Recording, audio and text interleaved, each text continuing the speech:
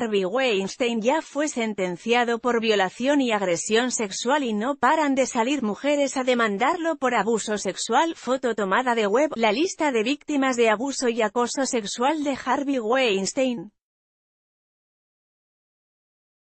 Sigue creciendo. Este viernes tres mujeres plantearon una nueva demanda judicial colectiva contra el director hollywoodense, a pesar de que Weinstein ya enfrenta cargos en Nueva York por violación y otros delitos de índole sexual.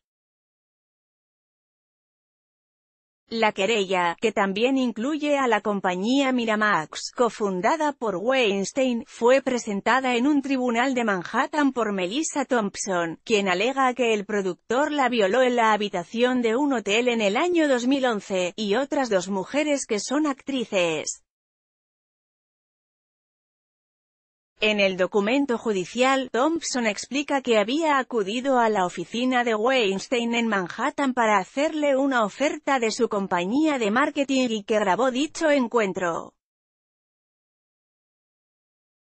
Agrega que explicaba al productor los servicios que ofrecía cuando éste comenzó a acariciar su pierna y movió su mano bajo su vestido y aunque ella sintió pánico, continuó con su explicación porque creía que si lo ignoraba él se detendría. El productor le pidió que se encontraran en la tarde de ese día para concretar el negocio y le citó para tomarse un trago en el Hotel Tribeca. Thompson además sostiene en el documento legal, de 94 páginas, que una vez en el hotel, Weinstein le invitó a su habitación, donde asegura que usó su fuerza primero para acariciarle y posteriormente violarla. La mujer relata que luchó contra Weinstein pero no pudo sacar la fuerza y que al final, cerró sus ojos, traumatizada, orando porque la agresión finalizara, indica la demanda.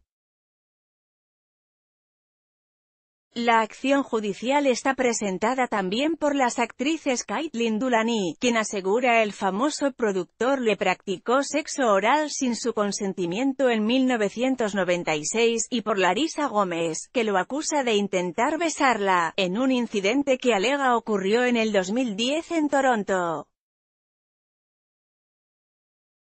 Gómez argumenta que Weinstein intentó que ella le diera un masaje y que le pidió que le mostrara sus senos. Mientras, Dulany alega que se radicó en Nueva York para perseguir su sueño de películas independientes y se consideró con mucha suerte cuando conoció a Weinstein en su compañía Miramax, a través del cual conoció a actores y otras personas involucradas con el cine. La actriz indica en la demanda que el productor le agredió sexualmente en un hotel en Francia, cuando acudieron al Festival de Cannes para promover la más reciente película de la actriz, que también explica en detalle cómo fueron sus encuentros con el productor, hasta que le practicó sexo sin su consentimiento. El grupo está representado por las firmas de Hagens Berman y la de Armenta Law, que además representan a otras seis actrices que en el 2017 presentaron la primera demanda, también en la jurisdicción federal contra Weinstein y su compañía de producción.